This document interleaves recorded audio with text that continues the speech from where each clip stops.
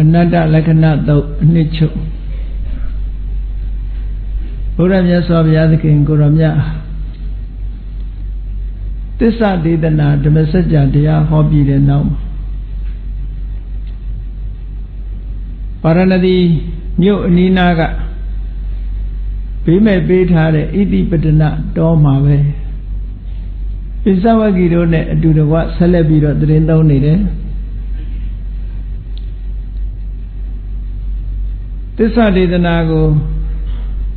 ဝါဆိုလာပြည့်နေ့မှာဟောကြားပြီးတော့ဝါဆိုလာပြည့်ကျော်တရနေ့မှာထိုသစ္စာဒေသနာကိုပဲဆက်လက်ရှင်းလင်းဟောကြားခြင်းဖြင့်သစ္စာလေးပါးကိုဒုတိယပိဿဝဂီဖြစ်တဲ့ပိဿဝဂီထဲမှာပါတဲ့ဒုတိယယဟန်တော်ရှင်ဝပ္ပ သောတာပန်ဖြစ်သွားတယ်ဆက်ပြီးတော့မြတ်စွာဘုရားကနိလညွန်ပြဆိုဆုံးမှရှင်းလင်းဟောပြတဲ့အခါမှာလာပြီးကျော်2ရက်နေ့ကျတော့ရှင်ဗတ္တိယလာပြီးကျော်3ရက်နေ့ကျတော့ရှင်မဟာနာမလာပြီးကျော်4ရက်နေ့ကျတော့ရှင်အတ္တစီလို့တရက်တစ်ပါးတရက်တစ်ပါးသောတာပတ္တိမဲ့သောတာပတ္တိဖို့ရပြီးတော့သောတာပန်ဖြစ်သွားကြတယ် သူတို့ရဲ့တရားတရားတွေဟာခိုင်မာသွားပြီသစ္စာတရားနဲ့ပတ်သက်ပြီးတော့ရှင်းရှင်းလင်းလင်းသိသွားကြပြီတန်တရားဆိုတာလုံးဝမရှိကြတော့ဘူးမှားရင်းတဲ့အယူဆဆိုတာလည်းလုံးဝမရှိကြတော့ဘူးအမြင်မှန်ပြီးတော့တန်တရားကင်းသွားကြပြီလို့ဒီလိုပြောတယ်အမြင်မှန်ပြီးတော့တန်တရားကင်းသွားကြတဲ့ပင်စဝက်ဂီ၅ပါးကို သူတို့တဏ္ဍာမှာရှိနေသေးတဲ့ကြမ်းနေသေးတဲ့ကိလေသာတွေကုံအောင်လို့ဆိုပြီးတော့မြတ်စွာဘုရားကဝါဆိုလာပြီကျော်9ရက်နေ့မှာဟောဒီအနတ္တလက္ခဏာတုတ်ကိုဆက်ပြီးတော့ဟောကြားတာဖြစ်ပါတယ်အနတ္တလက္ခဏာလို့ဆိုတဲ့ဖြင့်သုံးနာမည်ကအနတ္တလက္ခဏာလို့ဆိုတဲ့ဖြင့်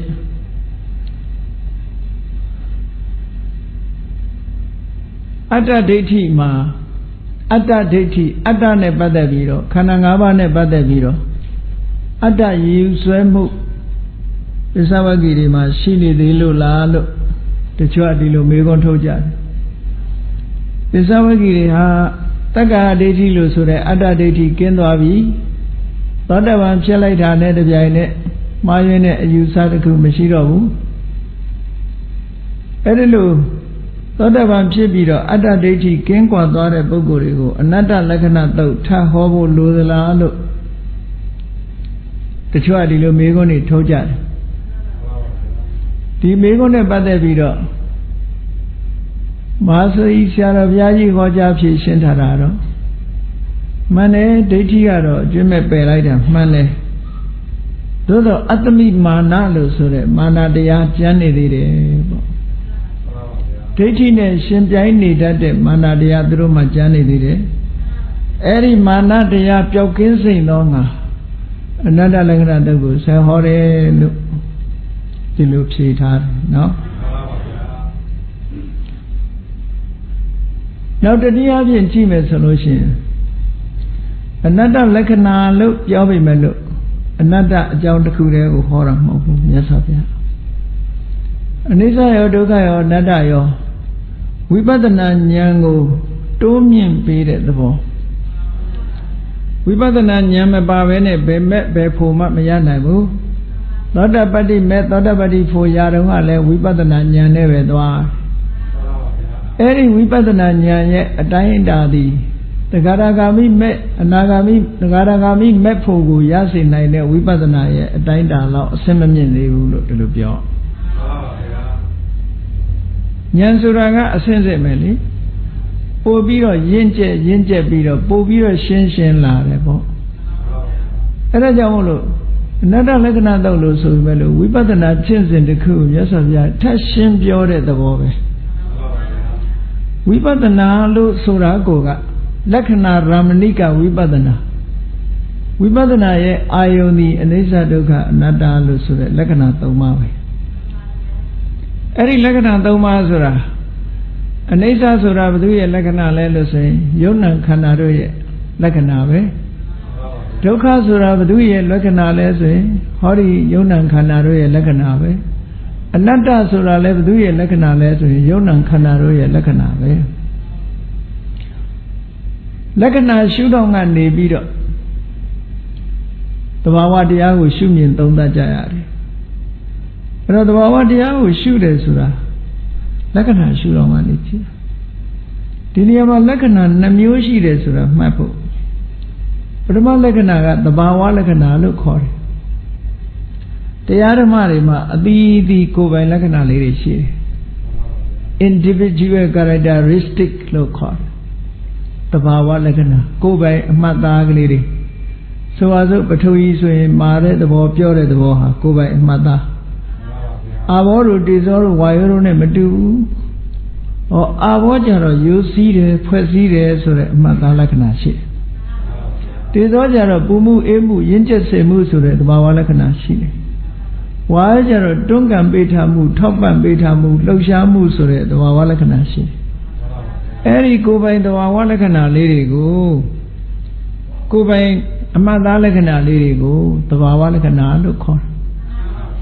တရားကိုတွေ့တယ်ဆိုတာဒီတဘာဝရှုတော့မှတွေ့တာအေးဝိပဿနာဉာဏ်ဖြစ်လာပြီဆိုတဲ့အခါကျတော့အဲ့ဒီတဘာဝလက္ခဏာကိုကြော်ပြီးတော့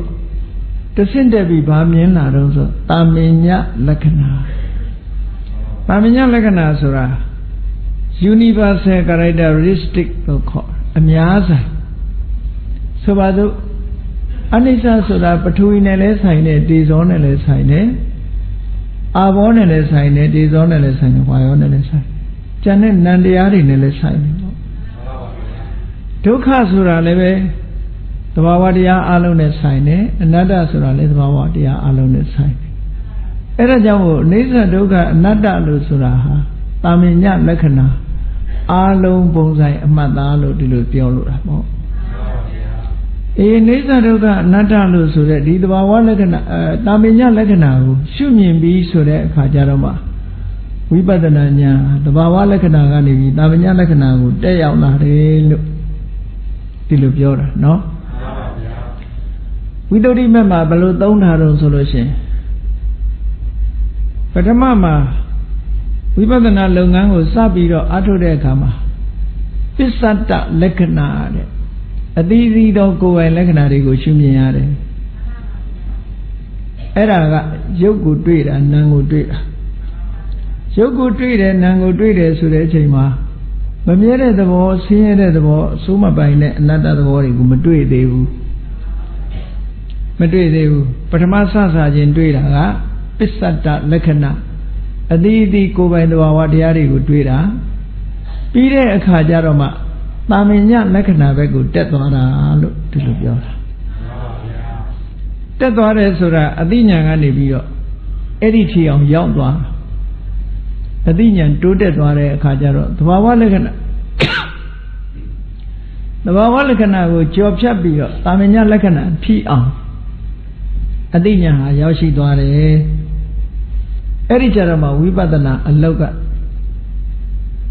လမ်းကြောင်းပေါ်မှာ ဝိပဿနာအလုပ်ရဲ့ဝိပဿနာလမ်းကြောင်းပေါ်မှာပြည့်ပြည့်ဝဝရောက်လာတယ်လို့ဒီလိုပြောနိုင်တာပေါ့နော်ဉာဏ်စဉ်နဲ့ပြောမယ်ဆိုလို့ရှိရင်နာမရူပပရိစ္ဆေဒဉာဏ်တို့ပစ္စယပရိက္ခဉာဏ်ဆိုတဲ့ဒီဉာဏ်နှစ်ခုအဆင့်မှာကြတယ်သဘာဝလက္ခဏာကိုပဲသိသေးတယ်တာမညာလက္ခဏာမသိသေးဘူးရုပ်နဲ့နာမ်ကိုသဘာဝရှုတော့ကပဲမြင်သေးတယ် နိစ္စဒုက္ခအနတ္တမမြင်သေးဘူးတဘာဝရှုတော့ကမြင်ထားတဲ့ယုံနာဓမ္မတွေရဲ့အကြောင်းကိုပဲသိသေးတယ်မမြဲတဲ့သဘောဆင်းရဲတဲ့သဘောစိုးမပိုင်တဲ့သဘောတွေကိုမမြင်သေးဘူးသမတနာညာရောက်တဲ့အခါကျတော့မှမမြဲတဲ့သဘောတွေကိုသုံးသပ်မိလာတယ်ဆင်းရဲတဲ့သဘောတွေကိုသုံးသပ်မိလာတယ်အစိုးမပိုင်တဲ့သဘောတွေကိုသုံးသပ်မိလာတယ်သမတနာညာကထပ်တလဲလဲသုံးသပ်ပေးလိုက်တဲ့အခါမှာ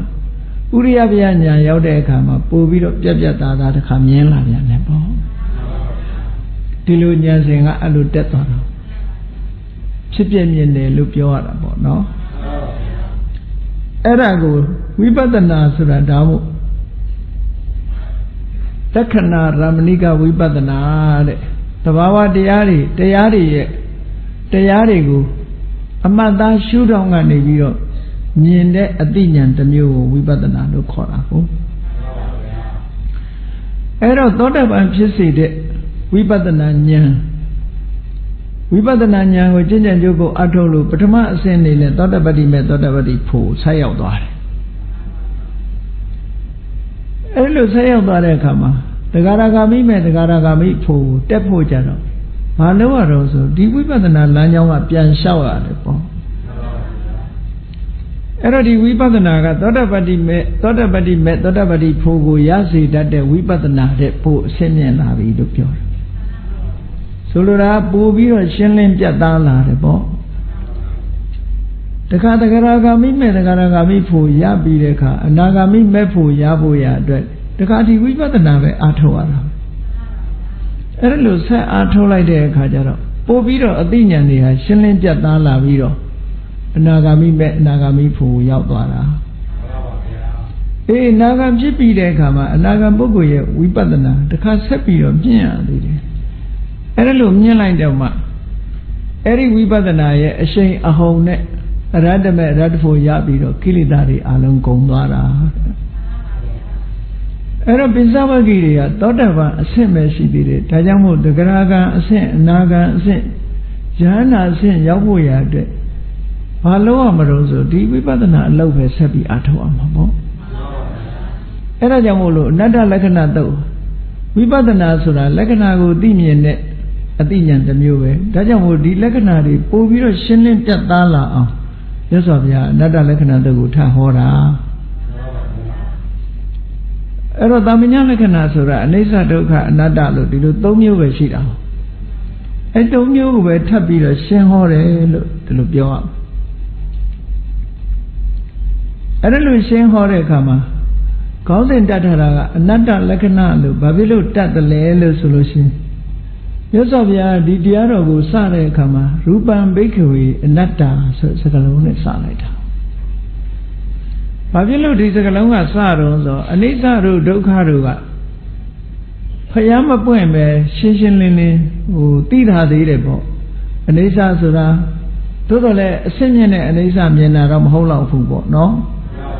မမြဲတဲ့သဘောလေးတွေကိုဒါတာမန်အပြင်ကြည့်မယ်ဆိုရင်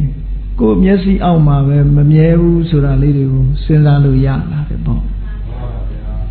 နောက်ပြီးတော့အစမပြေဘူးဆင်းရဲတယ်ဆိုတဲ့သဘောလေးတွေလည်းစဉ်းစားလို့ရလာသို့တော့အနတ္တဆိုတာကြတော့ဒီအဆင့်ကိုရောက်ဖို့ဆိုတာအလွန်ခဲနေဒါမို့အနတ္တလက္ခဏာဆိုတာဖះပွင့်မှသိခွင့်ရတဲ့အားလို့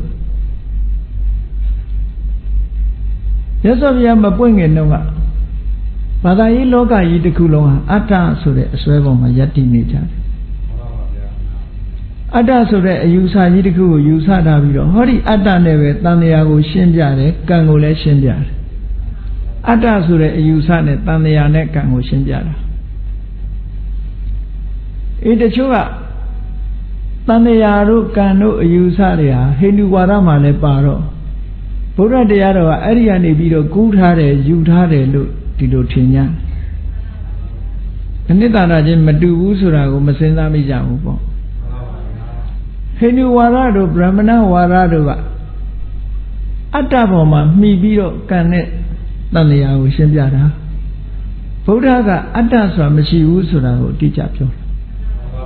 အတ္တမရှိဘဲနဲ့အတ္တပေါ်မှာအခြေမပြုဘဲနဲ့တန်တရားတို့ကံတို့ကိုရှင်းပြတာအ မတ္တမမတူညီတဲ့အချက်ကအဲ့ဒါကံဆိုတဲ့စကားလုံးလေးတူတာနဲ့တန်တရားဆိုတဲ့စကားလုံးလေးတူတာနဲ့တူတယ်လို့ဒီလိုမအောင်မေ့လိမ့်နဲ့ပေါ့အခြေပြုတာချင်းကအလုံးကိုကွဲလဲတယ်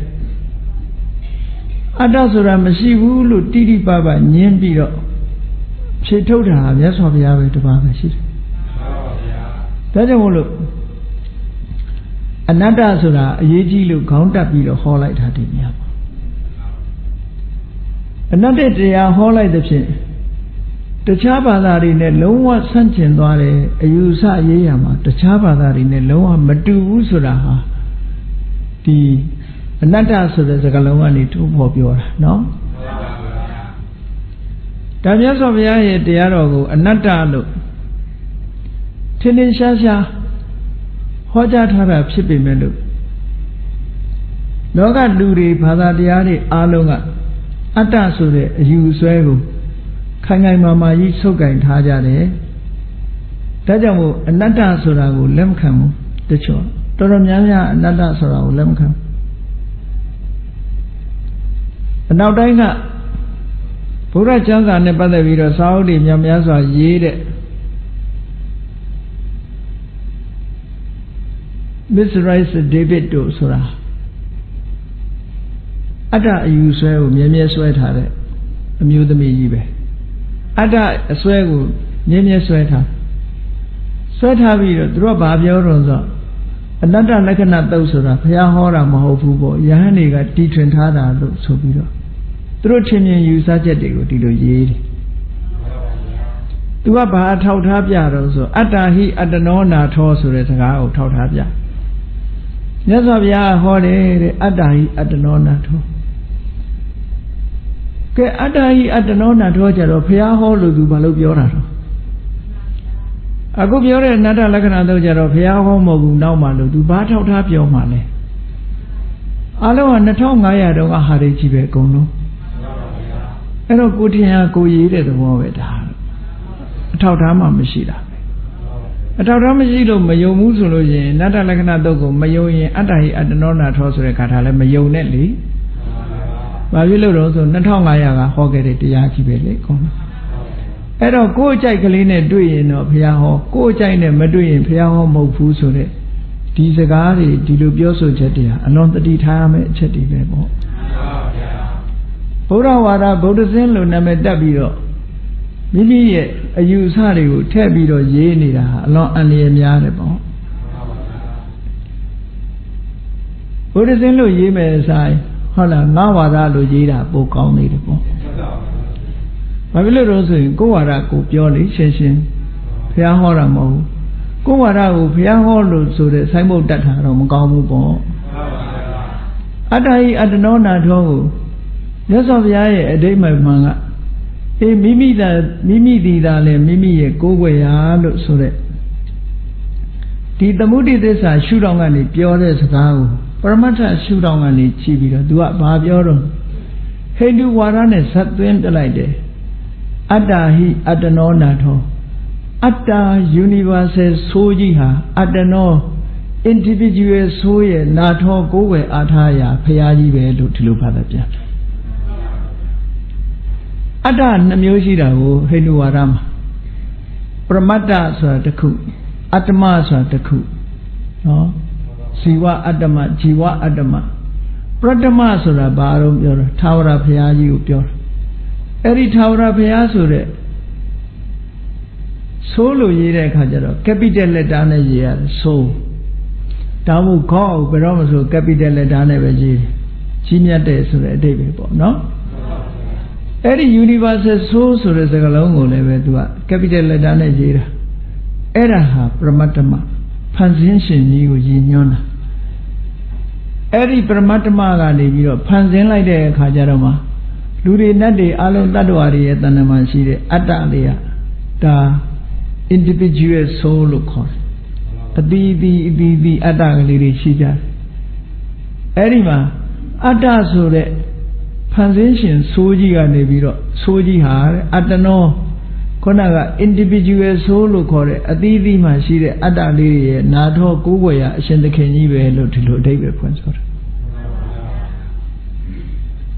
နော်အလုံးပုံပြပန်းပြဖြစ်အောင်ရသော်ဘုရားစကလုံးတွေအဓိပ္ပာယ်ကိုဖြည့်ဆည်းပြတာဒါတွေလည်းတတိထားဖို့တော့ကောင်းတာပေါ့နော် အေးဘယ်သူတွေမှားမှာကိုမမှားမိဖို့တော့အရေးကြီးတာပေါ့ကောင်းပြီနတ္တလက္ခဏာသုံးနဲ့ပတ်သက်ပြီးတော့သူတို့က monkish တဲ့ဘုန်းကြီးတွေတီထွင်ထားတဲ့တုတ်ပါတဲ့ဒီတုတ်ကရသော်ဘုရားကအတ္တဝါဒပါတဲ့အနတ္တဝါဒမဟုတ်ပါဘူးလို့ဒီလိုပြောတယ်ကထားလိုက်တာအဲ့စာအုပ်တွေဖတ်မိလို့ရှိရင်တတိထားမိဖို့အတွက်ပြောတာနော် မဖတ်ရင်တော့ကိစ္စမရှိဘူးဖတ်လို့ရှိရင်ခေါင်းထဲမှာအမိုက်တွေရောက်လာတတ်တယ်ပေါ့ကိုယ်ကောင်းထဲမှာကိုယ်အမိုက်ပုံကြီးဖြစ်အောင်မလုပ်သင့်ဘူးပေါ့နော်ဒီကောင်းပြီဒီအနတ္တလက္ခဏာလို့ဆိုတာမြတ်စွာဘုရားကအနတ္တလက္ခဏာတုတ်ကိုအနတ္တရဲ့အဓိပ္ပာယ်ကိုရှင်းတဲ့အခါမှာတခါတရံအနိစ္စရှုထောင့်ကရှင်းတယ်တခါတရံဒုက္ခရှုထောင့်ကရှင်းတယ်ဘာကြောင့်အနတ္တဆိုတာကိုရှင်းလင်းပြီးတော့ပြတဲ့နေရာ ဘာဖြစ်လို့လဲဆိုတော့အဲ့ဒီခေတ်ကလူတွေရဲ့ခေါင်းထဲမှာအတ္တဆိုတာစွဲနေတာဟုတ်အတ္တမဟုတ်ဘူးအနတ္တ negative နဲ့အတ္တကိုညှင်းပယ်တယ် reject လုပ်တယ်ဆိုတဲ့စကားလုံးနဲ့ပြောခြင်းပြီဆိုတဲ့အခါမှာဘာရှုတော့ကနေဘုရားပြတော့ဆိုအနိစ္စရှုတော့ကပြတယ်ဒုက္ခရှုတော့ကပြတယ်အဲ့ဒီမှာကြည့်မြတ်စွာဘုရားကစပြီးတော့ပိဿဝဂ္ဂီတွေကိုအတ္တမဟုတ်ဘူးဆိုတာကိုဘယ်လိုရှင်းပြ ခန္ဓာ၅ပါးနဲ့ပတ်သက်လာပြီးတော့ရူပံဘိက္ခဝေအနတ္တဆိုစကားလုံးလေးအစားယဟန်တို့ရုပ်တရားဟာအတ္တမဟုတ်ဘူးရုပ်တရားဟာအနတ္တအိန္ဒိယနိုင်ငံမှာထုံးထားနေတဲ့သူတို့ရဲ့အတွေးခေါ်အတ္တမဟုတ်ဘူးဒါဖြင့်အတ္တဆိုတာဘာကိုပြောတာတုံးလို့ဆိုလို့ရှိရင်အတ္တနဲ့ပတ်သက်ပြီးတော့အလွန်ကျယ်ပြန့်နေသူတို့ကအမျိုးမျိုးတွေးခေါ်ပြီးတော့ပြောကြတယ် အဲ့တော့သိတာယုံပြောမယ်ဆိုလို့ရှိရင်အတ္တဆိုတာခန္ဓာကိုယ်ကြီးကိုကြီးစိုးနေတဲ့အရာခန္ဓာကိုယ်ကြီးကိုအုပ်စိုးနေတဲ့အရာကိုအတ္တလို့ခေါ်တယ်နော်ခန္ဓာကိုယ်ကြီးကိုဘယ်သူကအုပ်စိုးနေတော့ဆိုဒီအတ္တကစိတ်ကအုပ်စိုးနေတယ်ဆိုရင်စိတ်ကိုအတ္တပဲသူကရုပ်ကအုပ်စိုးနေတယ်ဆိုရင်ရုပ်ကိုအတ္တအဲ့ဒါတာမီလို့ခေါ်တယ်တာမီဆိုတာခန္ဓာကိုယ်ကြီးမှာပိုင်ရှင်ရှိတယ်ပေါ့ အဲ့ဒီပိုင်ရှင်လေးဟာဘာနဲ့အလားတူတူတော့ဆိုရင်မြန်မာလူမျိုးတွေဒီပြောတဲ့စကားလို့လူသေးသွားတဲ့အခါကျတော့လက်ပြလေးဝิญဉ်ကောင်လေးကထွက်သွားပြီးတော့နောက်ဘဝမှာကူးသွားတယ်ဘဝကူးသွားတယ်ဆိုတဲ့စကားမျိုးဟာအပြောတတ်တဲ့မဟုတ်ဘဲနဲ့တကယ်ကိုခန္ဓာကိုယ်ထဲကအသက်ကလေးကထွက်သွားပြီးတော့နောက်ဘဝဝင်စားတယ်လို့ပြောလို့ရှိရင်တော့ဒါအတ္တဒိဋ္ဌိပဲသူက စကားအနေနဲ့တော့ပြောလို့ရပါတယ်စကားအနေနဲ့ပြောလို့ရတယ်မြတ်စွာဘုရားလည်းစကားအနေနဲ့တော့သုံးတာပဲသမုဒိသစ္စာပိုင်းကပြောလို့ရတယ်နော်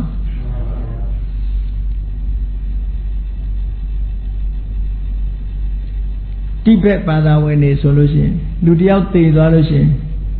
အဲ့ဒီဆိုးသို့မဟုတ် spirit အသက်ကလေးကလက်ပြလေးကဝိညာဉ်ကောင်လေးက49ရဲ့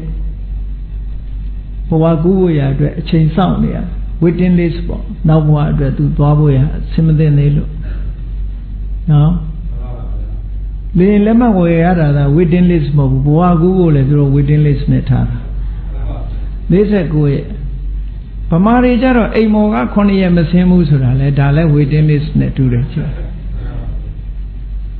အေးသေးသွားလို့ရှိရင်ကလေးအမေတွေပါတွေများသိလို့ရှိရင်လက်ပြခွဲရတာနဲ့ဘာနဲ့လှုပ်သေးတာ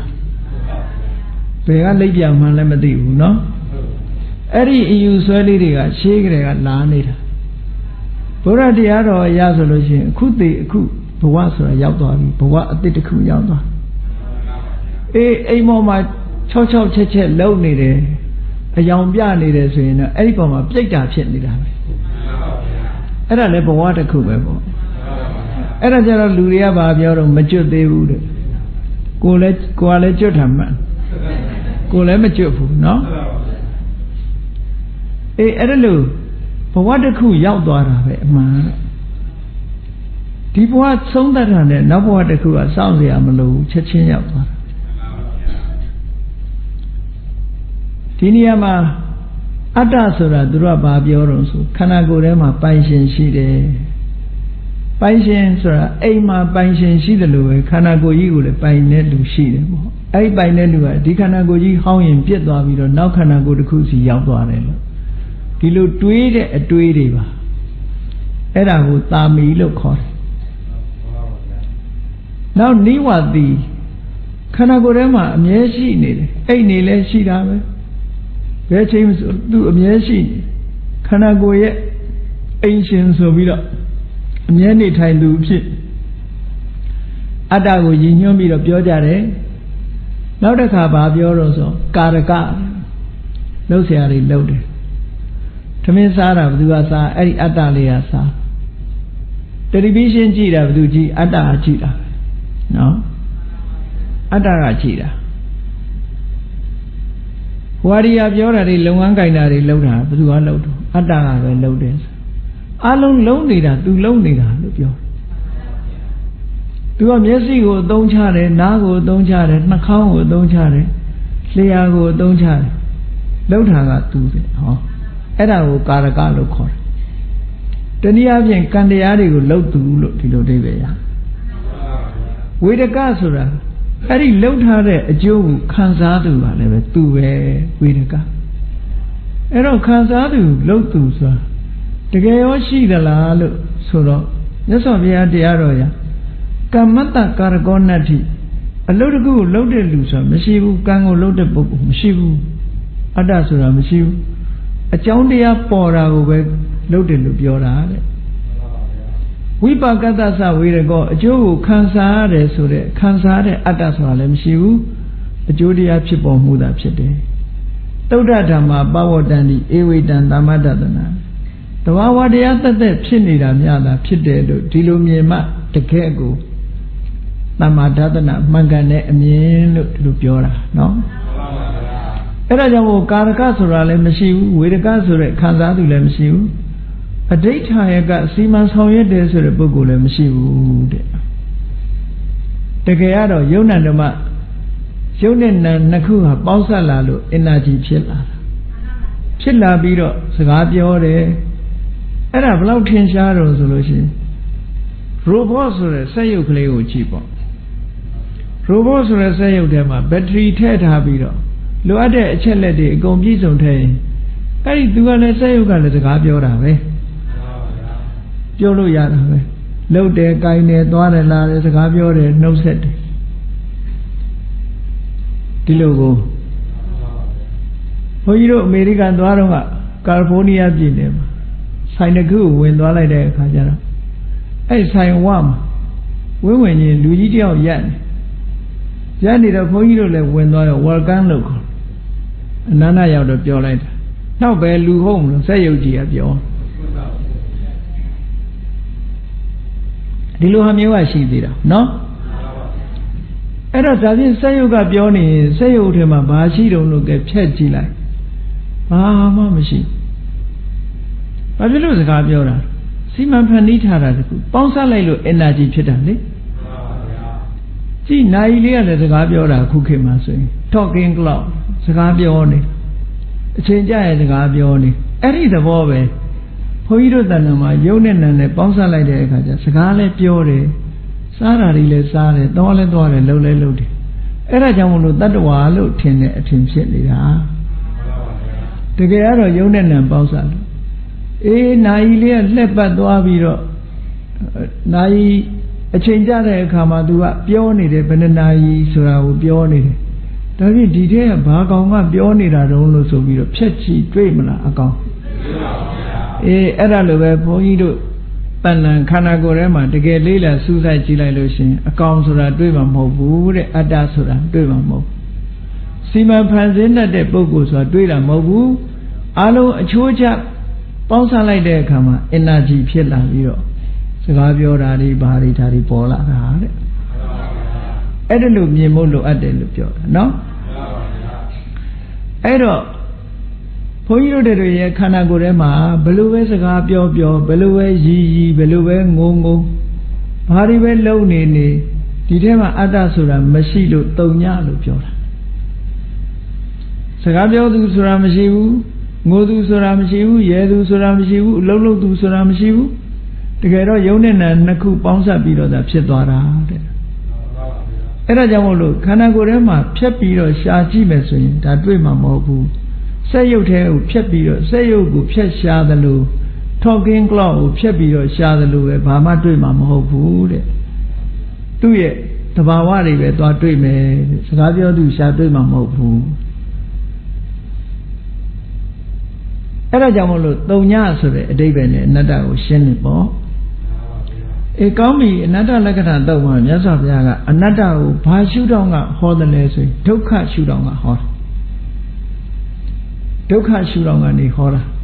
ဘရူပံဘိက္ခဝေအနတ္တယဟန်တို့ရုပ်ဟာအနတ္တအတ္တမဟုတ်ဘူးတဲ့ရူပိစဟိတံဘိက္ခဝေအတ္တအဝိဒစဉ်းစားဖို့ဤတစ်ခုပေးလိုက်တယ်ဒီကောင်းပြီတဲ့ရုပ်ကိုအတ္တလို့ပြောမယ်ဆိုလို့ရှိရင်တဲ့ နာဟိတံရူပံအာဘာရာယတံဝတေယဒီရုပ်ဟာဖြားရနာတာထိခိုက်တာနစ်နာတာဘယ်တော့မှမရှိရဘူးတဲ့နော်အဲ့ဒီအာဘာရာယဆိုတဲ့စကားလုံးလေးနဲ့ပတ်သက်လာတယ်တောင်မြို့ဆရာတော်ဘုရားကြီးကဖြားနာခြင်းလို့ရှင်းဆရာတော်ကြီးတွေကနာကျင်ခြင်းလို့ပြန်တယ် တောင်မြို့ဆရာတော်ကြီးကတော့ဖြားနာခြင်းဆိုတဲ့အဓိပ္ပာယ်ကိုပြန်တယ်မဟာစီဆရာတော်ဘုရားကြီးကတော့အာဘာရာယကိုအဲ့ဒီအဓိပ္ပာယ်တွေဟာသူစိတ်ထဲမှာမှန်တယ်လို့မထင်လို့အာဘာရာယကိုဘယ်လိုပေးတော့ဆိုနှိပ်စက်ခြင်းဟာလို့မဟာစီဆရာတော်ကြီးပြောတယ်အဲ့တော့အာဘာရာယဟာဖြားနာတာလားထိခိုက်နစ်နာတာလားဖြားနာမှုနာကျင်မှုလား သို့မဟုတ်နှိပ်စက်တာလားလို့ဆိုရင်ကြည့်မယ်ဆိုလို့ရှိရင်တော့အာဘာရဆိုတဲ့အဓိပ္ပာယ်ကအနာယောဂဆိုတဲ့အဓိပ္ပာယ်ပဲနော်ရုပ်ဟာ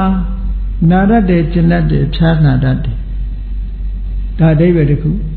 ရုပ်ကလူကိုနှိပ်စက်တယ်ဆိုတာလည်းဟုတ်တာပဲအဲ့တော့အဓိပ္ပာယ်နှစ်ခုလုံးမှားတော့မမှားဘူး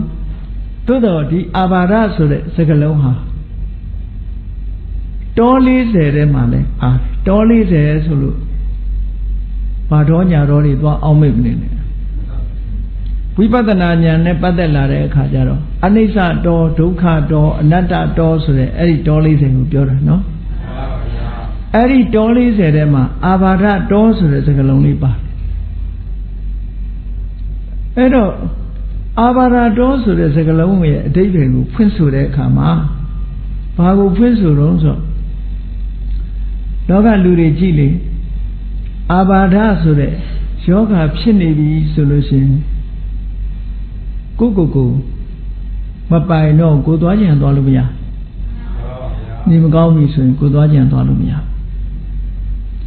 နာကျင်ကြိုက်ခဲထိခဲ့နေနာနေမယ်ဆိုရင်သွားလို့မရအဲ့ဒီအဓိပ္ပာယ်ကိုယူပြီးတော့အသေးရီဘာဝစနကတာယဆိုအဓိပ္ပာယ်နဲ့ပြောတာအသေးရီဆိုတာ ကိုလို့ချင်တာလုပ်လို့မရဘူးကိုလို့ချင်တာမလုပ်ကိုလို့ချင်တာလုံနိုင်ခြင်းကိုမလုံနိုင်ခြင်းကိုဖြစ်စေတတ်လို့အာဘာဒလို့ဆိုတော့ဒါယောဂဆိုတဲ့အဓိပ္ပာယ်ကိုပြောတာနေမကောင်းတဲ့လူလူတယောက်ဟာသွားခြင်းနဲ့စီသွားလို့မှမရတာနော်ကိုယ်ဆန္ဒရှိတာစားချင်တာလည်းစားလို့မရဘူးလုပ်ချင်တာလည်းလုပ်လို့မရဘူးနောက်တစ်ခုကဘာလို့ဆိုအာဘာဒပရဌာဏတာ နာကျင်ချင်းထိခိုက်ခြင်းရဲ့နိကအကြောင်းဖြစ်လို့ရုပ်ရှိနေနာမှာပဲနော်ဝေဒနာတင်ညာသင်္ခါရဝိညာဉ်ရှိရင်နာမှာပဲလို့ဆိုအဲ့တော့အာဘာဒဆိုတဲ့အဓိပ္ပာယ်ကဒုက္ခလို့ပြောတာဒုက္ခကိုရည်ညွှန်းတာအဲ့တော့မာစီဆရာတော်ကြီးပြောသလိုနှိမ့်ဆက်တယ်ဆိုတာလည်းဒုက္ခပဲနာကျင်တယ်ဆိုတာလည်းဒုက္ခပဲသို့သောမာစီဆရာတော်ကြီးကနာကျင်တယ်ဆိုတဲ့အဓိပ္ပာယ်ကိုသူကမမှန်ဘူးလို့တိတိလင်းလင်းဆိုတာ အဲဘုန်းကြီးတို့သဘောအရကြတော့တော40ထဲမှာပါဠိအတွက်ကြောင့်အာဘာရဟာနာကျင်တယ်လို့ပြောလဲမှန်တယ်နော်ထိခိုက်နစ်နာတယ်ခုနကနှိမ့်ဆက်တယ်ဆိုတဲ့အဓိပ္ပာယ်ကပြောရင်လည်းပဲမှန်တယ်လို့ပြောအောင်ဆရာတော်ကြီးကိုယ်တိုင်ပြန်ထားတဲ့အဲ့ဒီဝိသုဒ္ဓိမေဘာသာပြန်ထဲမှာအာဘာဒတော်အဲ့ဒီမှာဆရာတော်ကြီးကိုယ်တိုင်ပြန်ထားတာအဲ့ဒါနာကျင်ခြင်းဟောယောဂဝေဒနာဖြစ်ခြင်းလို့ပြန်ထားတာအဲ့တော့အဲ့ဒီစကလုံးပဲ ဘာဖြစ်လို့တော့ဆိုဒီအနတ္တကိုဒုက္ခရှုထောင့်ကနေပြီးတော့မြတ်စွာဘုရားဟောတာကိုရုပ်ဟာအာဘာဒပဲနာတယ်ရုပ်ဟာကိုယ့်ဘာကိုယ်မစွမ်းနိုင်လောက်စွမ်းရည်တတ္တိမရှိဘူးနာကျင်တယ်ဖြားနာတယ်ဖြားနာနေတာနဲ့အလားတရတူတယ်ဟောဒီအဓိပ္ပာယ်နဲ့ယူမယ်ဆိုလို့ရှိရင်ဟော အဓိပ္ပာယ်ပြန်ဆိုချက်နှစ်ခုစလုံးကမှားတယ်လို့ပြောလို့မရဘူးเนาะအဲ့တော့နာကျင်တယ်လို့ပဲပြန်ပြန်ဖြားနာတယ်လို့ပဲပြန်ပြန်နှိပ်စက်တယ်လို့ပဲပြန်ပြန်အာဘာရဆိုတာဒုက္ခရဲ့သဘောကိုရှင်းပြတယ်လို့ပဲဒီလိုမှတ်ဒါဝိသုဒ္ဓိမဲ့တော40ကိုကြည့်ကြည့် အဲ့ဒီမှာအာဘာရတော်ဆိုတဲ့အဓိပ္ပာယ်လေးပါတယ်အေကောင်းပြီအာဘာရာယ ရှင်းဆရာတော်ကြီးတွေသုံးတဲ့အတိုင်းနာကျင်ခြင်းဟာရုပ်ဟာအကယ်၍အတ္တဆိုလို့ရှိရင်ရုပ်ဟာမနာရဘူးမနာရဘူးလို့ဆိုလို့ဘာလို့လဲတော့ဆိုအတ္တဆိုတဲ့သဘာဝတရားကပိုင်ဆိုးတာကိုသူကိုယ်တိုင်စီမံခန့်ခွဲတာပိုင်ဆိုးတာဖြစ်သည့်အတွက်ကြောင့်နာကျင်ဖို့မဖြစ်စေရဘူးပေါ့ဒါကြောင့်မို့အာဘာရဆိုတဲ့ဒုက္ခရောက်တာ အဲ့တော့ဒီအတ္တဟာခန္ဓာကိုယ်ကြီးကို तू ကစိုးပိုင်ဖို့နေနေတာလား तू က तू ပဲနားနေတယ်ဟာဆိုဘယ်လိုလုပ်စိုးပိုင်မှာစိုးပိုင်နိုင်ဘူးဒီလိုဆိုလိုတယ်ပေါ့ခန္ဓာ၅ပါးက तू က तू မှနားနေတာကိုနာရတောင်ကိုပြောင်းအောင်မကုနိုင်လို့ရှိရင်ဘယ်လိုလုပ်ပြီးတော့ तू က तू များကိုကုမှာတော့သူများကိုဘယ်လိုလုပ်အုပ်ချုပ်မှာတော့ဒါကြောင့်မို့လို့အာဘာရာယဆိုတဲ့အတိတ်ပဲဟာနာကျင်တာပဲဖြစ်ဖြစ်ဖြားနာတာပဲဖြစ်ဖြစ်နှိမ့်ဆက်တာပဲဖြစ်ဖြစ် အတိပ္ပယ်အပြင်တော့စီလျော်ပါတယ်လို့ပဲဒီလိုပဲမှတ်အမှာပဲ။ဘာဖြစ်လို့တော့ဆိုတော့ရုပ်ဟာနာရတဲ့ကျင်တတ်တဲ့နှိမ့်ဆက်တတ်တဲ့ဒါကြောင့်မို့လို့ရူပံဒီရုပ်ဟာအကယ်၍အတ္တလို့ဆိုလို့ရှိရင်ဒီရုပ်ဟာမနာရဘူးမနှိမ့်ဆက်ရဘူးဟောမဖြားနာရဘူးသို့တော့ရုပ်ဟာနာခြင်းနေတယ် နာယိတံရူပံအာဘာဒာယတံဝတေယကြည့်နောက်ဆက်တွဲလာပြီးတော့ပြောတာဒါတွေမကဘူးတော့လက်ပိထသရူပေအေဝမေရူပံဟောတုအေဝမေရူပံမဟောတိရှုပ်တရားဒီလိုဖြစ်ဒီလိုမဖြစ်နဲ့လို့ तू ထိမ့်ချုပ်နိုင်စွမ်းရှိရမယ်တဲ့ဒီလိုဖြစ်ဆိုတော့နာရင်မနာရဘူးပေါ့ဖြားနာရင်မဖြားနာရဘူးမပြည့်စည်ရဘူးဒုက္ခမရောက်ရဘူး ငါရုပ်ကလေးဟာတဏ္ဍမာမှာပဲ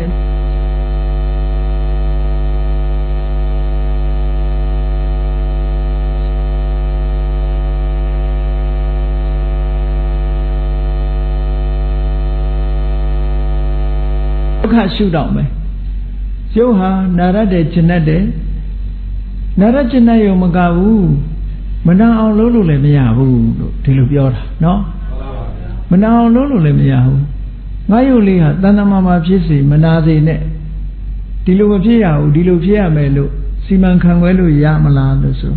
မရဘူးတဲ့အဲ့ဒါဒုက္ခရှုတော့ကနေအနတ္တကိုပြောတာဟောရူပံဘိက္ခဝေအနတ္တရူပင်္စဟိတံဘိက္ခဝေအတ္တအဘွေတာ နာယိတံရူပအာဘာရာယတံဝတေယလဗ္ဗေထသရူပေဧဝမေရူပံဟောတုဧဝမေရူပံမအဟောတိတိယတမသခောဘိက္ခဝေရူပံအနတ္တရုပ်ဟာအနတ္တတဲ့တတ္တမအာဘာရာယတံဝတတိဒါကြောင့်မို့လို့ရုပ်ဟာနာတယ်နှိမ့်ဆက်တယ်လက်နသလဗ္ဗတိရူပေဧဝမေရူပံဟောတုဧဝမေရူပံမဟောတိရုပ်ကလေးကို ကိုယ်ဆန္ဒအတိုင်းဖြစ်အောင်လုပ်လို့လည်းမရဘူးပြုပြင်ပြောင်းလဲလို့လည်းမရဘူးဒါကြောင့်မို့လို့အနတ္တလို့ဒီလိုပြောတာတဲ့ဒါဒုက္ခရှုတော့ကနေမြတ်စွာဘုရားကဟောတဲ့အနတ္တပဲထို့တူပဲဝေဒနာကိုလည်းပဲဒီတိုင်းဟောတယ်ဝေဒနာအနတ္တ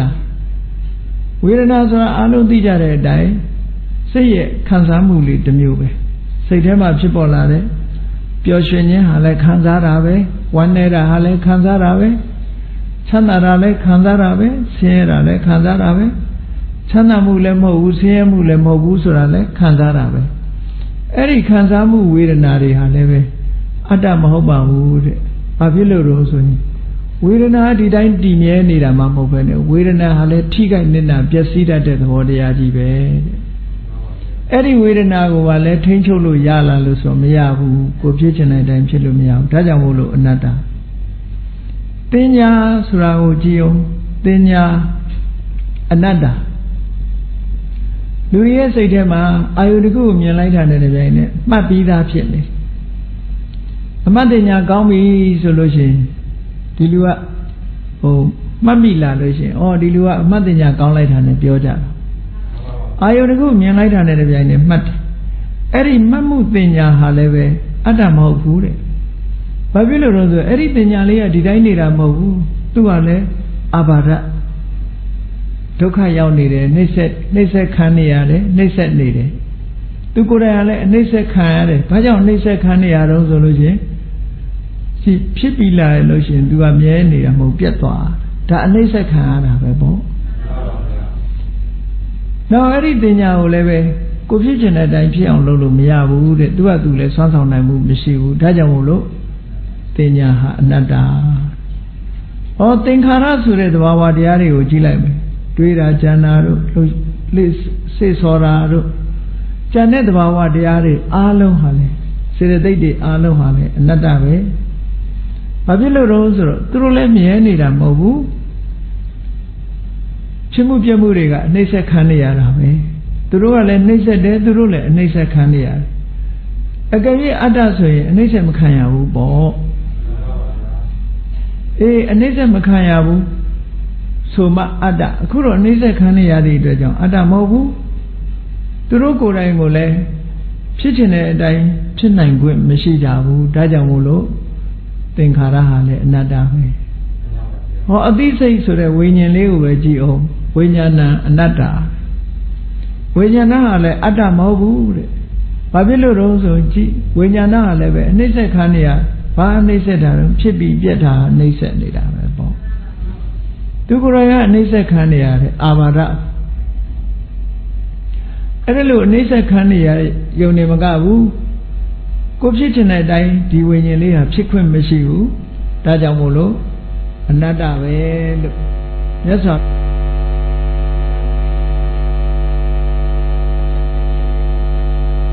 ရှင်းလင်းလင်းသိအောင်လို့ဒီအနတ္တဒုက္ခရှုထောင့်ကနေပြီးတော့အနတ္တကိုရှင်းပြနေတာနော်အနတ္တကိုရှင်းပြနေတာအဲ့ဒါလို့ရှင်းပြပြီးတဲ့အခါကျတော့မြတ်စွာဘုရားကအနတ္တဟာအရေးကြီးလို့ဥတင်ပြီးတော့ဥတည်ပြီးတော့ရှင်းပြပေးမယ်လို့ဝိပဿနာဆိုတာအနိစ္စလည်းမြင်ရမယ်ဒုက္ခလည်းမြင်ရမယ်အနတ္တလည်းမြင်ရမယ် သုံးမျိုးလုံးမြင်မှပြည့်စုံတယ်နော်သုံးမျိုးလုံးမြင်မှပြည့်စုံဒါကြောင့်မလို့မိကုန်းနေထုတ်တယ်မိကုန်းထုတ်တာကိုဖြေတယ်ဆိုတာသင်ထားတဲ့အတိုင်းဖြေတာမဟုတ်ဘူးသူတို့အလေးနဲ့စဉ်းစားပြီးတော့မှတကယ်သဘောကျလို့ဖြေတဲ့အဖြေနော်တန်ကိမ့်မညထဘိက္ခဝေကဲငါမေးမယ်မေးခွန်းတစ်ခု ဘယ်လိုယူဆကြသလဲဘယ်လိုပြောကြမလဲရူပံနေဆံဝါအနိစ္စဝါယုတ်တရားဟာနေဆာလားအနိစ္စလားဆိုတော့သူတို့စဉ်းစားတဲ့အလေးနဲ့စဉ်းစားပြီးသိလို့ဖြေတဲ့အဖြေအနိစ္စပါဗျာအနိစ္စဗန္တိလို့ဒီလိုဖြေတာနော်အေးသင်လို့ကြက်ထားလို့ဖြေတဲ့အဖြေမျိုးမဟုတ်ရဘူးဝိပဿနာဉာဏ်နဲ့အေးယုတ်တရားတွေမမြဲတာကိုသူတို့ကိုယ်တိုင်ဝိပဿနာဉာဏ်ရှုပြီးတော့မြင်ထားတာ အဲ့ဒါကြောင့်မို့လို့သူတို့စိတ်ထဲမှာမြဲတဲ့ရုပ်ဆိုတာဘယ်မှာမှရှာမတွေ့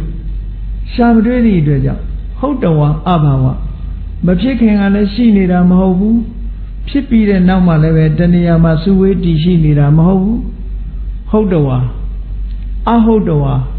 တံဘောဓိဟုတ်တော်ဝပฏิဝေတိတဲ့အဟုတ်တော်ဝမဖြစ်ခင်ကလည်းနော်အဟုတ်တော်ဝတံဘောဓိ ဒီဟုတ်တော်ဝပฏิဝေတိအဟုတ်တော်ဝ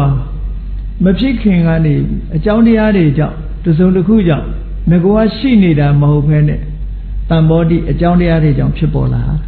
အဟုတ်တော်ဟာဆိုဘယ်နေရာမှသူတို့ရှိနေတာမဟုတ်ဘူးရှိနေတဲ့ထဲကယူလာယူပြတာမဟုတ်ဘူးเนาะဆိုပါစို့စောင်းအိုးထဲမှာစောင်းကြိုးထဲမှာစောင်းတန်လေးရှိနေတာမဟုတ်ဘူးလက်နဲ့စောင်းကြိုးနဲ့ စောင်းအိုးပေါ်မှာတက်ဆင်ထားတဲ့စောင်းကြိုးကိုလက်နဲ့တီးခတ်တဲ့အခါမှာဒီအတန်လေးကထွက်လာတယ်ထွက်လာပြီးတဲ့နောက်မှာအဲ့ဒီအတန်လေးကဒီထဲပြန်ဝင်သွားတာမဟုတ်ဘူးသို့မဟုတ်တဏှာမှာသွားစုပြီးတော့ပုံနေကြတာရှိတာမဟုတ်ဘူးအဲ့တော့အဟုတ်တော်ကတမ္မောတိ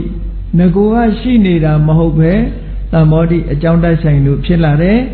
ဟုတ်တော်ကအကြောင်းတိုက်ဆိုင်လို့ဖြစ်ပေါ်လာပြီးတဲ့နောက်မှာလဲ ပฏิဝေတိလုံးဝပြောင်းခွင့်သွားတယ်ဒါအနိစ္စလို့ပြောတာအနိစ္စဆိုတာအဲ့ဒါကိုပြောတာနော်အဲ့ဒါကိုဟုတ်တော်အဘဝထေနာလို့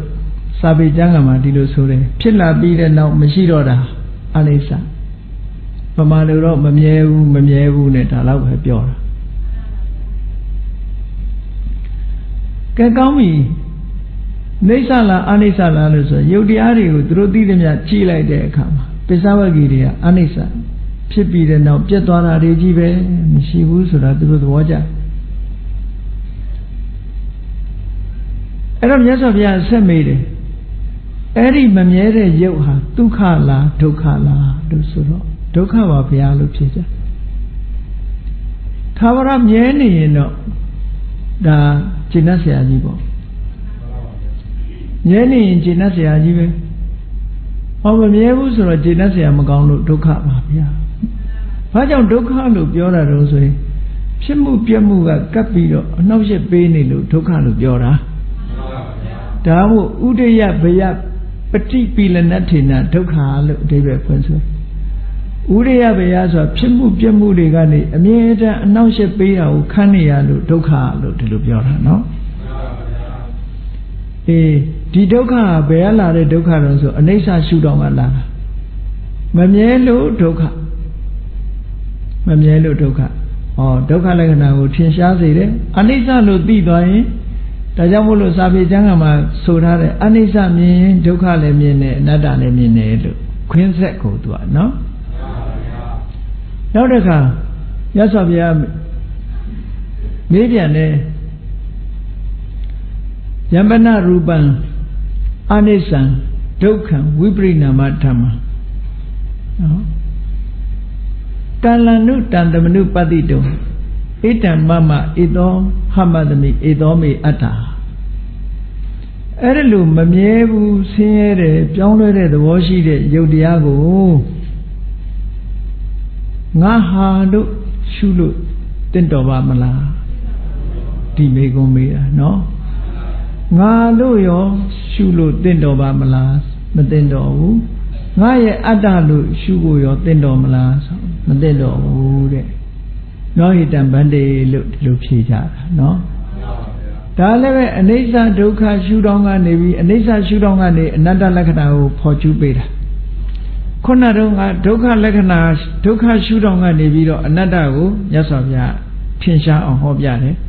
အခုဒီစကားကြတော့ အနိစ္စရှုထောင်းကနေပြီးတော့အနတ္တကိုပြန်ရှင်းပြတယ်ရှင်းတာအနတ္တပဲပေါ့အေးအဲ့ဒီမှာနေတံဧတံမမဧသောဟမတမိဧသောမေအတ္တဆိုတဲ့ဒီအတွေးတွေကဧတံမမဆိုတာတဏှာရဲ့အတွေးဧသောဟမတမိဆိုတာမာနရဲ့အတွေးဧသောမေအတ္တဆိုတာဒိဋ္ဌိရဲ့အတွေးအဲ့ဒီအတွေး၃ပါးပပ္ပစ္စတရား၃မျိုးရဲ့ အမြင်တွေကိုဒီနေရာမှာရှင်းပြတာနော်ရုပ်တရားနဲ့ပတ်သက်ပြီးတော့အဲ့ဒါလို့ဟောတယ်လို့ပဲတခါဝေဒနာတင်ညာသင်္ခါရဝိညာဉ်ဆိုတာနဲ့ပတ်သက်ပြီးတော့လေတစ်ခုစီတစ်ခုစီမြတ်စွာဘုရားမေးတယ်မေးလိုက်တဲ့အခါမှာသူတို့သဘောကျထားတဲ့အတိုင်းပစ္စဝဂီတွေကဖြေကြတယ်အနိစ္စပါဗျာအနိစ္စဆိုရင်ဒုက္ခလားဒုက္ခလားဒုက္ခပါဗျာအဲ့ဒီ မမြဲပြီးတော့ဆင်းရဲတဲ့ကြောင်းလဲတဲ့သဘောရှိတဲ့တရားကိုဒီလိုဆိုရင်ငါဟာငါငါပဲငါရဲ့အတ္တပဲလို့ရှုရင်တင့်တော်ပါမလားဆိုမသိတော့ပါဘုရားလို့ဖြေကြအဲ့ဒီမေးဖြေနေတာကိုသူတို့ရဲ့ဝိပဿနာဉာဏ်ရင့်တန်ဒါအလေးနဲ့ထားစဉ်းစားပြီးတော့မြတ်စွာဘုရားကမေးပြီးတော့နေနေတာစစ်ဆေးနေတာ အဲ့ဒီစစ်ဆေးရင်သူတို့ဟာ apply လုပ်နေကြတာပဲဒါဝိပဿနာကျင့်စဉ်တစ်ခုကိုကျင့်နေတာလို့ပဲဒီလိုမှတ်ရအစင်းမြင်တဲ့ဝိပဿနာတစ်ခုကိုရှင်းတဲ့ရှင်းအောင်မြတ်စွာဘုရားအဲ့ဒါလိုဟောဟောပြီးတဲ့အခါကျတော့မြတ်စွာဘုရားပါမေး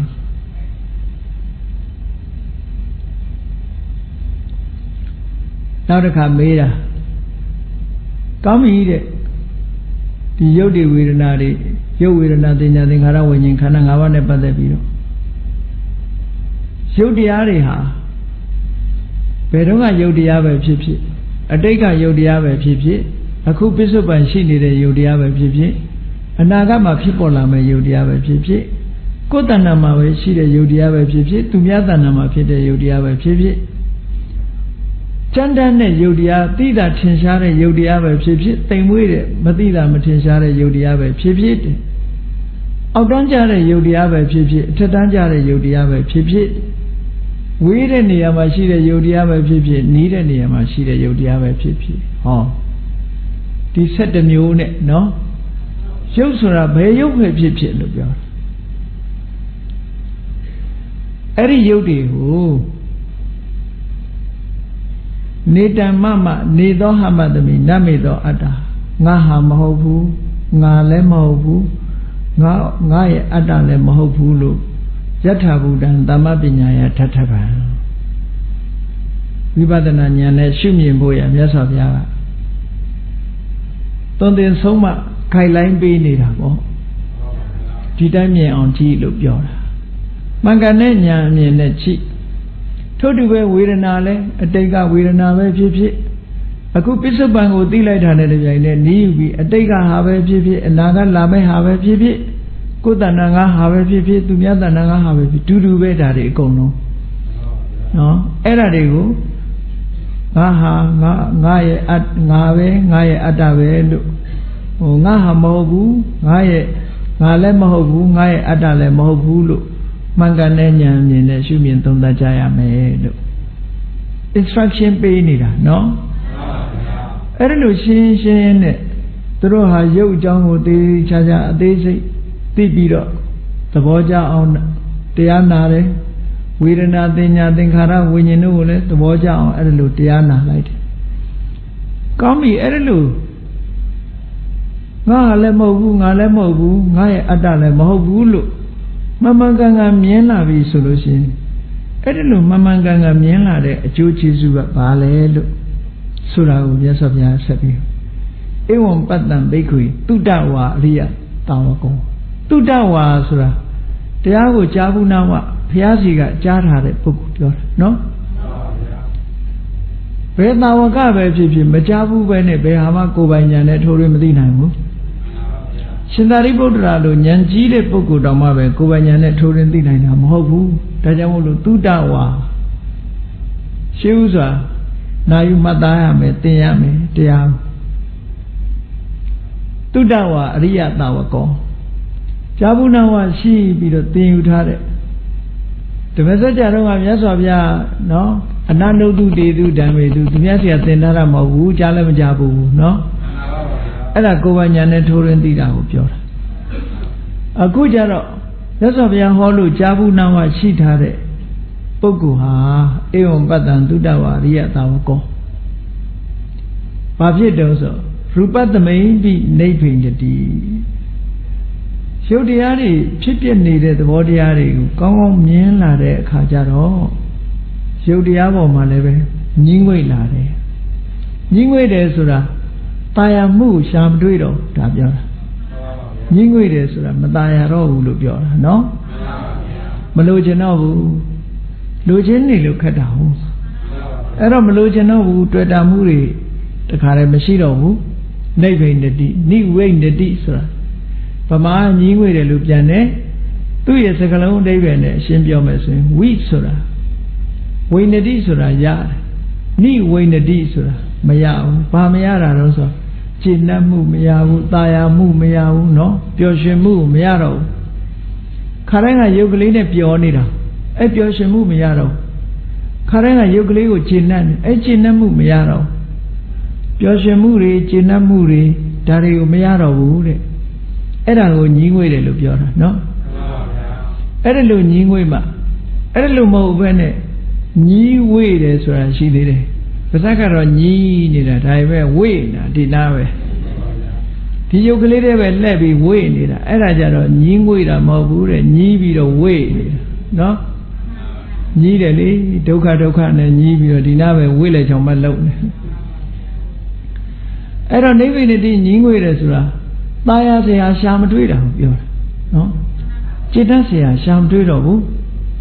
จิตတတ်เสียမတွေးတော့ဘူးဆိုရင်ပြစ်လိုက်ချင်တာပေါ့ဒါဟုတ်တာပေါ့ အကောင်းမရှိတော့ဘူးဆိုပြစ်တော့မှာပေါ့ဘယ်နေရာမှခြေနှက်ဆရာမရှိဘူးဆိုနိဗ္ဗိနတိနိဗ္ဗိန္ဒံဝိရစတိမတွေ့တော့ဘူးတဲ့ညီငွေလာသည့်အတွက်ကြောင့်အဲ့ဒီယုတ်တရားပေါ်ဝေဒနာတင်ညာသင်္ခါရဝိညာဉ်ဆိုတဲ့ခန္ဓာတွေပေါ်မှာမတွေ့တာတော့ဘူးအဲ့တော့နိဗ္ဗိနတိညီငွေတယ်ဆိုတာဘာကိုပြောတာတုံးလို့ဆိုအတူတူကအဲ့ဒါဝိပဿနာဉာဏ်အဆင့်မြင့်ဆုံးရောက်သွားတာကိုပြောတာ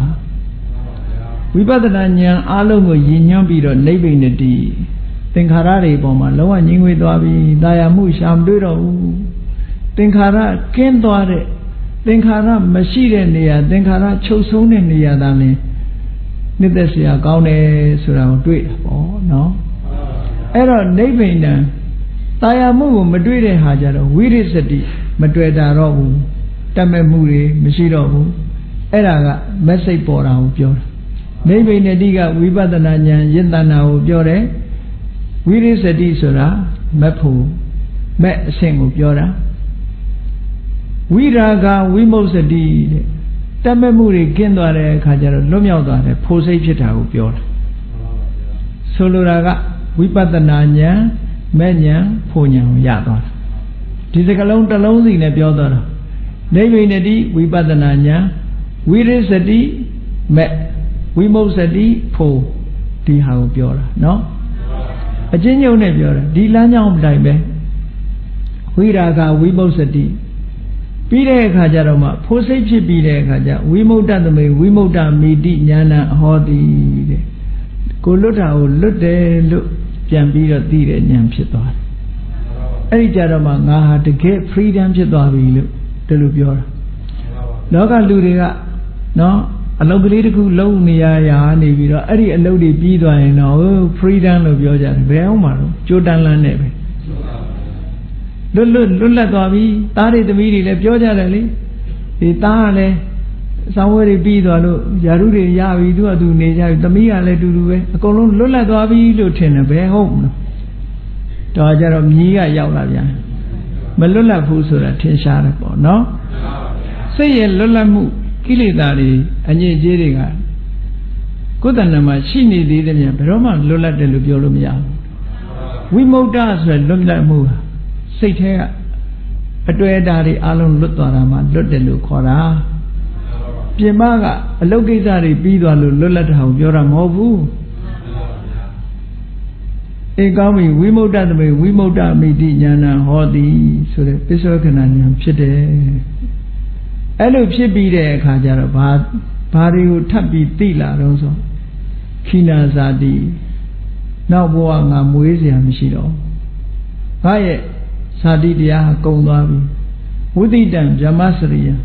မြတ်သောအကျင့်ကိုလည်းပြည့်ပြည့်ဝဝကျင့်ပြီးသွားပြီကတံကရဏီယံလှုပ်เสียကိစ္စတွေငါလှုပ်ပြီးသွားပြီဟောအဲ့ကြတော့မှအလုတ်ကပြီးတာ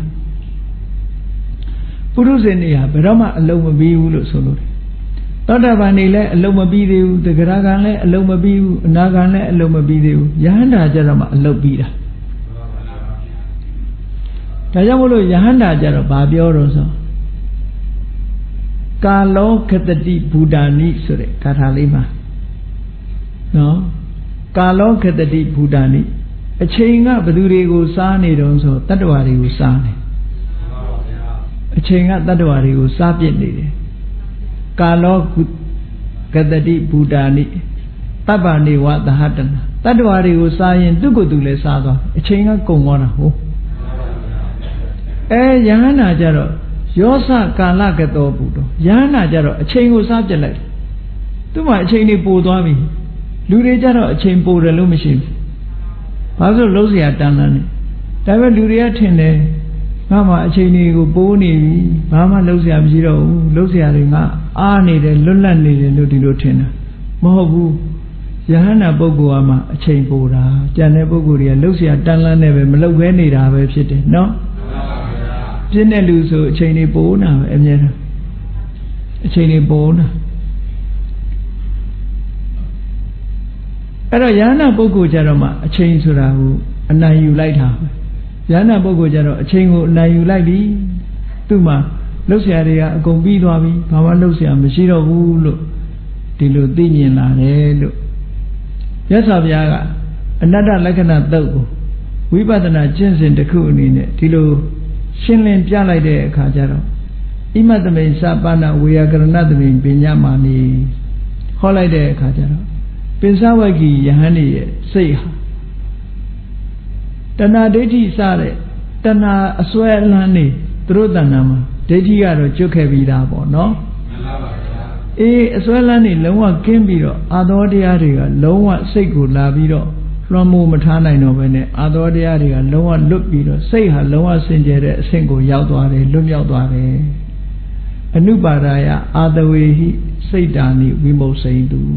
လွတ်မြောက်သွားပြီဆိုလိုတာကယဟနာဖြစ်သွားကြပြီအဲ့ဒီကြတော့မှ ဒီနတ္တလက္ခဏာတုတ်ကိုနာရင်ကနေဝိပဿနာကျင့်စဉ်ကိုတိုးမြင့်ပြီးတော့တရားနာရင်ကျင့်လိုက်ကြတာငါးပါးစလုံးတပြိုင်နက်ယဟနာဖြစ်သွားကြတယ်သောတာပန်ဖြစ်တုန်းကတော့တရက်စီတရက်စီဖြစ်ကြတယ်ယဟနာဖြစ်တဲ့အခါကျတော့တရက်တည်းတစ်ချိန်တည်းဖြစ်သွားကြတယ်လို့ဒီလိုဆိုလိုတယ်နော်အထက်ဝိပဿနာမှာသွားပြီးတော့ရှင်သာရိပုတ္တရာနဲ့ရှင်မောက္ကလန်တို့ရှင်သာရိပုတ္တရာက ရှင်အတ္တစီရဲ့တရားကိုနာရလို့သောတာပန်ဖြစ်သွားတယ်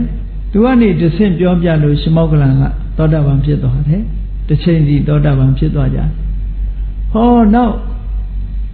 နောက်ထပ်ဝိပဿနာကျင့်စဉ်တွေသောတာပန်ဖြစ်ပြီးတဲ့နောက်မှာရှင်သာရိရှင်မောက္ကလန်ကကျင့်လိုက်တာ9ရက်နဲ့တည်းပဲသူကယဟနာဖြစ်သွားတယ်ရှင်သာရိပုတ္တရာကျတော့15ရက်ကြာနေတယ်ဘာဖြစ်လို့သူကအသေးစိတ်လိုက်နေလို့အသေးစိတ်လိုက်နေလို့ အဲ့ဒါလို့အနုပရဓမ္မဝိပဿနာရှင်သာရိပုတ္တရာရဲ့ဝိပဿနာဟာအသေးစိတ်ဉာဏ်ကြီးတော့အသိဉာဏ်နဲ့ချက်ကားပြီးတော့ကြည်နေတော့အချိန်နဲ့နဲ့ကြာတယ်လို့ဒီလိုဆိုတာပေါ့နော်ဟောရဟနာတော့သူတစ်ချိန်စီဖြစ်ကြတယ်အဲ့ဒါလိုပဲပိဿဝဂီ၅ပါးကြတော့တရက်စီတရက်စီသောတာပန်ဖြစ်လာပြီမဲ့လို့အနတ္တလက္ခဏာတုတ်ကိုနာကြတဲ့အခါမှာ တဂရကံဖြစ်တယ်အနာကံဖြစ်တယ်ပြီးတော့နောက်ဆုံးမှယဟနာဖြစ်ပြီးတော့သွားကြတယ်လို့အေးဒါကအနတ္တလက္ခဏာတုတ်ကိုအနှစ်ချုပ်ခြုံပြီးတော့ရှုမြင်သုံးသပ်ဖို့ဟောကြားခြင်းဖြစ်ပါတယ်ဒါကြောင့်မို့တရားကျင့်ခင်သူတော်စင်ပြိဿအပေါင်းတို့သည်ဝိပဿနာကျင့်စဉ်တစ်ခုကိုကျင့်ကြံကြိုးကိုအားထုတ်ခြင်းဖြင့်ခန္ဓာ၅ပါးပေါ်မှာနိဗ္ဗိန်တတိလို့ဆိုရယ်ဝိပဿနာဉာဏ်ရင့်တန်လာမယ်ဆိုရင်ဝိရာဂဝိမု ක්ෂ တိဝိရာဂ အဝိရိစတိနိဗ္ဗိဏံဝိရိစတိဆိုတဲ့မဉဏ်ကိုရကြမှာဖြစ်တယ်မဉဏ်ကိုရပြီလို့ရှိရင်ဝိရာဂဝိမု ක්ෂ တိဆိုတဲ့ဖူဉဏ်ကိုရကြမှာဖြစ်တယ်အဲ့ဒီဖူဉဏ်ရတဲ့အခါကျတော့လွတ်လပ်တယ်ဆိုတာလွတ်လပ်တယ်လို့ကိုယ့်ဘာကိုသိလာလိမ့်မယ်အဲ့ဒါလို့သိလာပြီးတဲ့အခါကျတော့ဘဝဆိုတာအားလုံးဟာဇာတိယစဆုံးသတ်ပြီးတော့လှုပ်ရှားရှိတာတွေအကုန်လုံးပြီးစိတ်လေးဟာကိလေသာအသောတွေကလွတ်ကင်းသွားတဲ့ပုဂ္ဂိုလ်အဖြစ် ရယူနိုင်ကြရအောင်အားလုံးဘုရားမြတ်စွာဟောကြားတော်မူခဲ့တဲ့တရားဓမ္မအတိုင်းကျင့်ကြံကြိုးကုပ်အားထုတ်တော်မူနိုင်ကြပါစေကုန်သတည်း